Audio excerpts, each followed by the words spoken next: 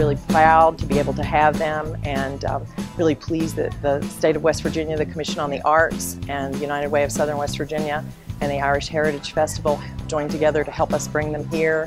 And it's all about the arts and it's about creativity and inclusion and making sure that every child has an opportunity to participate in the arts and creativity. We're really, really excited to be here for the third um, workshop and performance to a program we call Theater for All. Uh, our mission at BRIO is to include people of all abilities and ages in the arts. And we are so happy that we had a third opportunity to do that here in Beckley.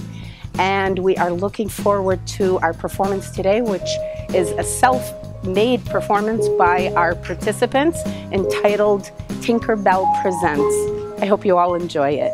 Thank you.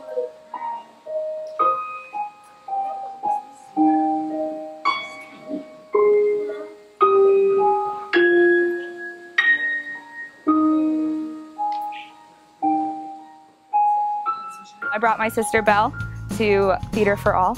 Um, I grew up in the theater, so I really wanted Belle to experience something like this, and she's really come out of her shell and done stuff that I really honestly am surprised that she uh, opened up to do. You know, an awesome opportunity for our kids and adults to see the beauty of art combined with special needs, and um, we know that those are two areas that are equally low funded. So the United Way was thrilled and and just so privileged to be able to help bring this organization to Beckley and, and provide an opportunity for our kids and youth and adults in southern West Virginia.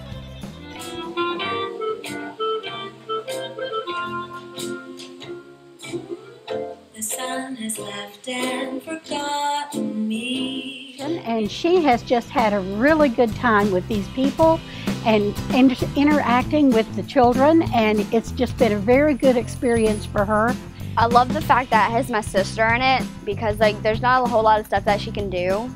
And when we found out we, she could do this, it was amazing and she loves it. It brightens up her day and it's absolutely fantabulous.